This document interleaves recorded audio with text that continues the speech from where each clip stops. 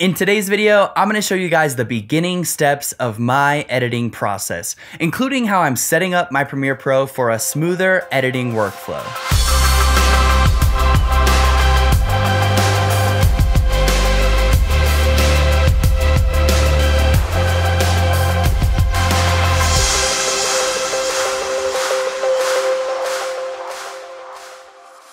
Welcome back to the channel Filmmaking Homies. It's your boy Cody Blue, and like I said, today we're just gonna walk you guys through those beginning steps of kind of getting the ball rolling with Premiere Pro. So I'll show you guys how I'm importing and storing my footage, how I'm interpreting it to 24 frames per second, how I'm setting up my timeline, and all that other stuff that you might wanna know as far as getting started with your edit. So for those of you guys that are more on the beginner side, I'm sure you'll find this tutorial very helpful, but even those of you guys that are a little bit more advanced, I'm sure you can pick up a couple different tips and tricks that'll help you improve your workflow. So with that being said, a fair warning this isn't going to be the most entertaining video that I've ever made, but I'm sure you guys will learn something. So let's go ahead and jump into my computer and we'll check it out. Today we're just gonna kind of walk you guys through my process of getting my footage onto my computer and how I set up my Premiere Pro and some of the keyboard shortcuts and different things like that that I'm using in order to improve my workflow and make the editing process a little bit easier. So let's go ahead and jump right in. So let's say that I just got back from a shoot and the first thing I'm gonna do is import my footage onto my computer. So I plug in my SD card, I'm gonna open up my folder and I'm actually gonna make two copies of all of my footage. So the first copy I'm gonna put on my Samsung T5 solid state hard drive. Now, if you guys aren't editing off of a solid state hard drive, I would highly recommend it, whether it's internal on your computer or it's an external like the Samsung T5. It's just gonna speed up your workflow a little bit, and I think it's a worthwhile investment. It helps you edit quicker, and ultimately, it's gonna help you guys make more videos. So what I do is I go into my editing folder, I'm gonna create a new folder, we'll just call it tutorial, and then what I would do is drop all of my footage into this tutorial folder. Once that's completed, I'm gonna make a copy of this tutorial folder and I'm gonna take it onto my actual four terabyte hard drive and just put it in my A73 videos folder. So I go A73 videos, and then I'll just paste the footage into my storage hard drive. That way I have two copies. Now that I've got all of my footage onto my computer, it's time to jump into Premiere Pro. So we'll go down to Premiere Pro and this is what your Premiere Pro is going to look like when you first open it up if you haven't made any changes to your workspace or anything like that. So the first thing I want to show you guys is the workspace that I like to use for editing my footage. So I really only use the editing tab and the color tab for everything. And this is the way that I set them up for my editing process. So basically I want all of my controls up in this left-hand corner. I want my timeline all the way across the bottom. And then I'm going to have my program or my actual editing window on the right-hand side here. And the reason I like that is because I like to have a lot of real estate when it comes to my timeline. I like to be able to see all my clips and different things like that. And this bottom left-hand corner here is just kind of ruining that for me. So what I'm gonna do is drag all the tools that I actually use up into the top left-hand corner. So we'll go ahead and drag this project up here.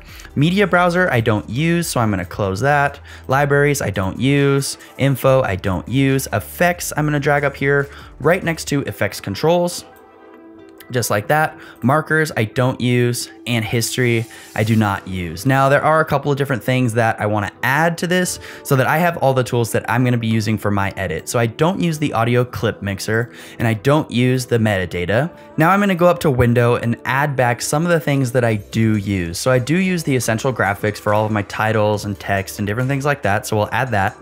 And then again, I'm just gonna drag that over to this top left panel here Next, I'm gonna add Essential Sound. Occasionally I use Essential Sound, not very often, but I do like to have it on there just in case. Now the last thing I'm gonna add is my audio track mixer, which I use for basically equalizing my sound, my dialogue, and different things like that. So I do use that occasionally, although not very often. And then I just wanna make sure the size is appropriate there. So that looks pretty good. And now I'm gonna go into Window, Workspaces, and save changes to this workspace.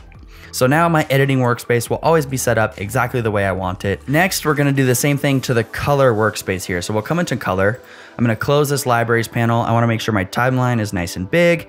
And then I'm just gonna make sure I have everything that I need up here. I have my scopes.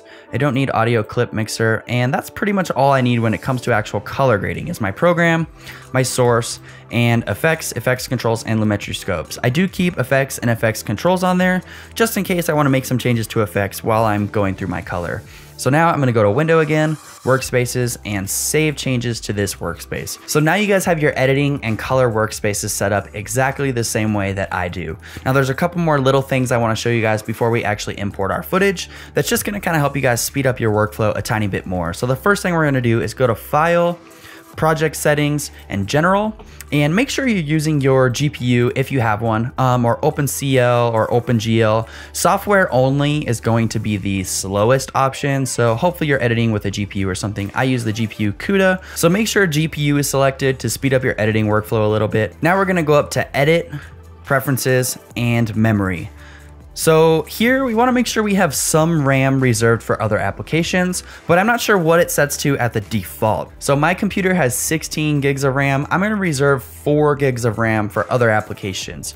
If you have more RAM installed on your computer, maybe like 32 gigs, you might bump this up to 6 gigs or so, but I think for most people, 4 gigs is gonna be enough unless you're doing a lot of work between After Effects and Premiere Pro. So those are just a couple of little tweaks that I can recommend for you guys to make sure that your Premiere Pro is running as fast as possible. So now let's go ahead and import some footage and talk about that process. What I'm gonna do is go into my solid state hard drive. You wanna make sure you're pulling your footage from your solid state hard drive. I'm gonna go into my editing folder and I'm just gonna pull some footage from that Milky Way tutorial that I did for you guys. So we'll just grab a couple of these and we'll call that good. So I'm gonna drag these into my project panel and let those clips import. So now all of our footage is imported, and if you guys are anything like me, you're shooting in a bunch of different frame rates. We're either shooting in 120 frames per second or 24 frames per second, whatever it is, you have different frame rates among all of your footage. So we wanna conform all of those to the same frame rate. So what I'm gonna do is just select all of my clips, and then I'm going to right click, I'm gonna go to modify, interpret footage, and I'm gonna interpret this footage to 23.976, which is technically 24 frames per second. Click enter, and now all of our footage is 24 frames per second. I'm gonna take one of my clips, I'm gonna drag it to this little icon here in order to create a new timeline. Then I'm gonna go up to sequence, sequence settings, and change it into a 1440p project, which is 2560 by 1440. Make sure it says 16 by 9 here, and it's gonna be 23.976 frames per second. So we'll go ahead and click OK. And now we have our timeline set up and we're ready to go. So I'm gonna go ahead and delete this clip for now. And now there's a couple different ways that you can choose the selects for your footage. A lot of people like to double click, come into their clip, find the good part, enter I, find the next part, and enter O, and then they can go ahead and drag that into their timeline. So if you wanna drag the clip and the audio, you just click in the middle here and drag that down. Go ahead and click keep existing settings. Or if you wanna drag just the video, you just click this little video icon here and drag that down into your timeline instead. So you could go through every single clip that way and choose your selects, but that's not the way that I like to do it. So I'm gonna go ahead and delete these.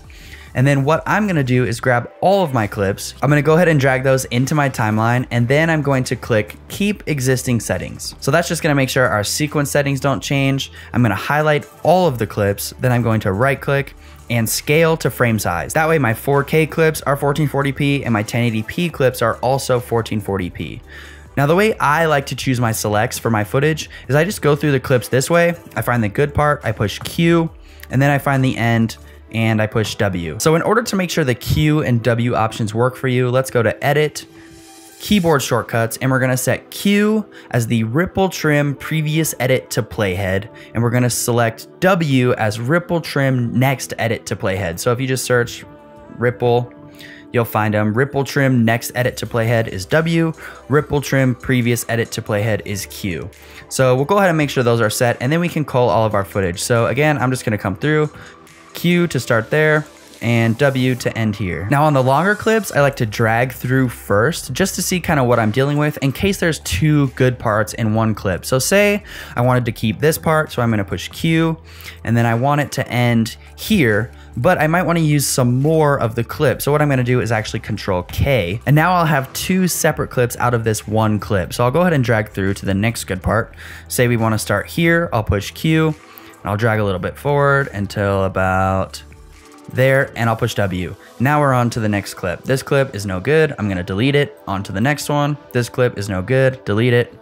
This one I'll start here. I'm gonna come all the way and end here. So this is the way that I'm going through all of my footage. Even if I have 500 clips, I'm going through them one by one, choosing the good parts, deleting the bad clips, and that way it helps refresh my memory on what clips I have. And then when I go into edit, I'll remember those clips. I'll say, oh yeah, I had a really good shot of this, and I can just go find it in my timeline and put it into my edit. So let's go ahead and say that we've gone through all of our footage, we've picked all of our selects, and now it's time to actually start our edit.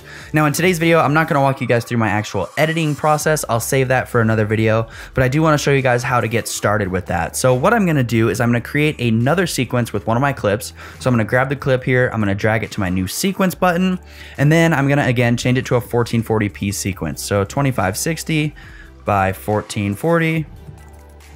And then I'm going to delete this clip here. Now I like to name them just so I don't get confused. So I'm gonna name this one, edit, and I'm gonna name my previous sequence footage. Now you can see here we have our footage and we have our edit. Now we've got both sequences and we're ready to actually start editing. So this is when I would drop in my music and start putting my footage together. Now the way that I do that is I go into my footage panel here, I'll find the clip that I want and I'll drag it to my editing timeline and just drop it into my edit. Again, keep existing settings and scale to frame size. So that's one way that you could do it is just by clicking back and forth. But for me, I actually like to bring my footage down below my editing timeline. That way I can see them both at the same time. So I'm gonna scale this up and I'm gonna scale this one down because I really don't need to see that much aside from the clips here.